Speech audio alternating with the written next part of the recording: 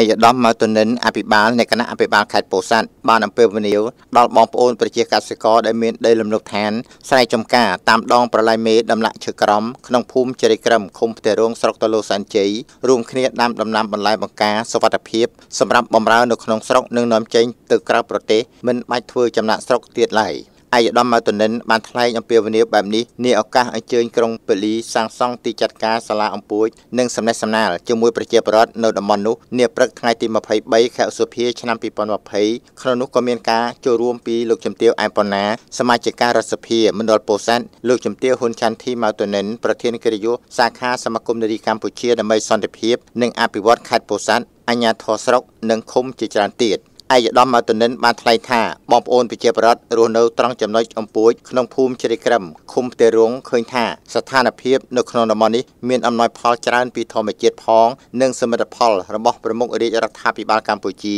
ជាច្រើនជាតម្រូវការចាំបាច់របស់ប្រជាពលរដ្ឋយើងដើម្បីជាការលើកស្ទួយជីវភាពរស់នៅឲ្យកាន់តែប្រសើរឡើងថែមទៀតនោះសូមឲ្យប្រជាពលរដ្ឋដែលមានលំនៅឋាន ដីស្រែចម្ការនៅតាមបណ្ដោយប្រឡាយមេដំណាក់ឈើក្រំទាំងអស់ត្រូវរួមគ្នាបង្កើតសហគមន៍ដាំបន្លែបង្ការសវត្ថភាពគ្មានគីមីគ្រប់ក្រុមគ្រួសារកុំអោយសល់ដីទំនេរព្រោះថាដាំដំណាំបន្លែបង្ការមានគុណភាពនិងសវត្ថភាពនាពេលបច្ចុប្បន្ននេះកំពុងមានទីផ្សារទាំងក្នុងនិងក្រៅប្រទេសពិសេសនៅក្នុងដំណាក់កាលទប់ស្កាត់ការរីករាលដាលនៃជំងឺ Covid-19 ឯកឧត្តមបានជម្រាបជូនថាចំពោះក្របពូជបន្លែនិងទីផ្សាររដ្ឋបាលខេត្តមន្ទីរកសិកម្មរុក្ខាប្រមាញ់និងនេសាទខេត្តនិងរដ្ឋបាលស្រុកជាអ្នកផ្ដល់ជូនព្រមទាំងរកទីផ្សារលក់ ផលិតផលថែមទៀតបើបងប្អូនប្រជាពលរដ្ឋចូលរួមលើការងារដាំដុះកាន់តែច្រើននោះធ្វើឲ្យជីវភាពក្នុងគ្រួសារនិងសហគមន៍កាន់តែទូធាគ្មានអ្នកធ្វើចំណាក់ស្រុកហើយការនាំចូលបន្លែពីក្រៅប្រទេសត្រូវបានកាត់បន្ថយឯកឧត្តមបានថ្លែងឲ្យដឹងដែរថាដោយមើលឃើញអំពីការលំបាករបស់ប្រជាពលរដ្ឋ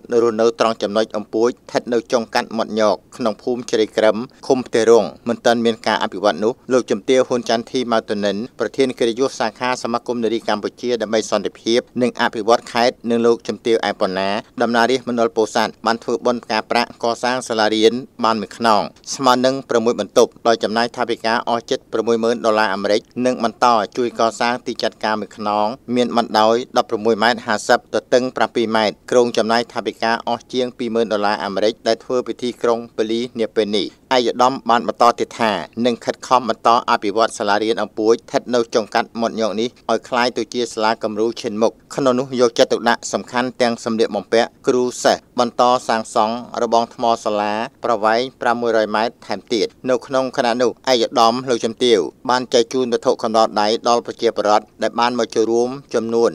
125នាក់ក្នុងម្នាក់ម្នាក់អង្គ10គីឡូក្រាមក្រមាមួយនិងខៀតមួយកញ្ចប់ប្រកេនថាវិការ70ម៉ឺនរៀលអង្គ100គីឡូក្រាមមី2កេសទឹកត្រី2យួរទឹកស៊ីអ៊ីវ2យួរទឹកសុទ្ធ1កេសនិងគ្រឿងឧបភោគបរិភោគមួយចំនួនទៀតដល់ព្រះសង្ឃវត្តអំពួចនិងអំពាវនាវឲ្យប្រជាពលរដ្ឋបង្ការការពារជំងឺ Covid-19 ជាប់ជាប្រចាំ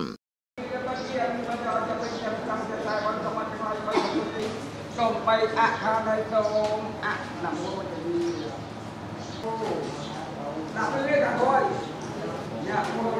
ីសង្ឃ Amen.